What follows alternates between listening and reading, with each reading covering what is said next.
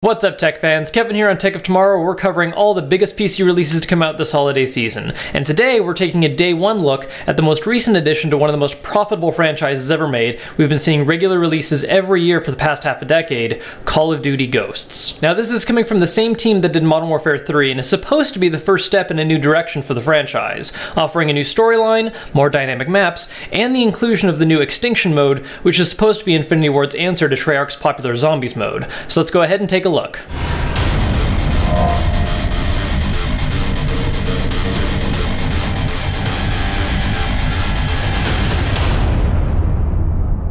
So first off, not all PC games experience what you would call a perfect launch, as bugs and different optimization issues can come up, and Ghost is no exception to this. I myself had a ton of problems with screen stuttering at the start as you can see here, which does not make for a fun or balanced multiplayer experience. And after looking it up online real quick, a common fix for now, before patching, for those of you that are also having this problem, is to go into the task manager and change Ghost's process priority to normal rather than high. So once you've done that and the gameplay actually looks smooth, let's go ahead and take a look at some of our first impressions of what we've played so far. To begin with, the campaign starts a new storyline with a heavier emphasis on the main characters being more along the lines of guerrilla fighters and being the last few survivors, rather than part of a well-organized large army. The whole thing has got a really heavy Red Dawn vibe going to it. Just replace communist-era Russia with an alternate history version of South America as the primary bad guy. The campaign also places a heavy emphasis on the dog being an important teammate, who you can direct to attack enemies during combat, or even assume direct control of during certain parts of the game.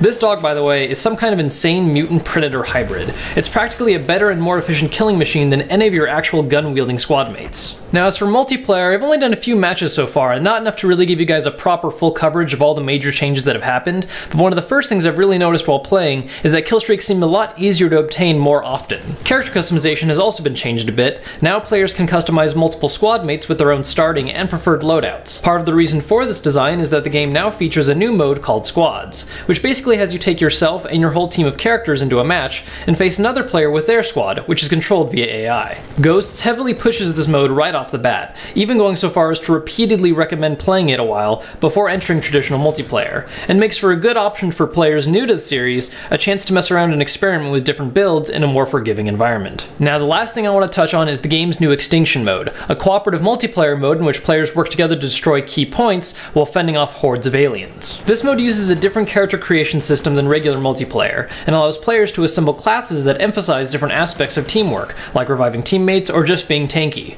and also allows you to choose from a couple different purchasable perks and match, like summoning a minigun or spawning ammo. This is really reminiscent of the Zombies mode traditionally in Treyarch-made Call of Duty games, in which players start off with bare-bones supplies, and use money they gain killing aliens to purchase new guns or use special abilities, and you can also level up mid-match to improve how some of your class abilities and perks work. Now what I've played so far has just been a little bit of each mode, enough to get a feel for each one, but not enough to bring you guys a proper full review just yet. So once I've sunk enough time into Extinction and multiplayer and have finished the campaign, I'll let you guys know my final thoughts and whether or not Ghosts has any significant changes to the current Call of Duty formula. Now if what you've seen is already enough to convince you to want to grab the game for yourself, check out the link in the description for pricing and availability. And while you're down there, make sure to smash that like button to let us know how you've been enjoying all this gaming content on Tech of Tomorrow. And if you're not a subscriber yet, make sure you become one because we got a lot of great content on the way including full reviews for a lot of the biggest holiday releases on PC. Till then, you've been watching Tech Tomorrow, I'm Kevin, and we'll see you later.